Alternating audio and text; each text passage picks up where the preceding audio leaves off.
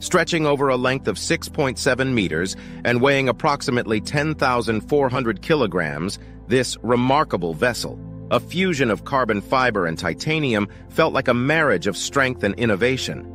Additionally, the Titan featured two titanium hemispheres and interface rings, embracing a 2.4-meter-long carbon fiber-wound cylinder with a 142 centimeters internal diameter.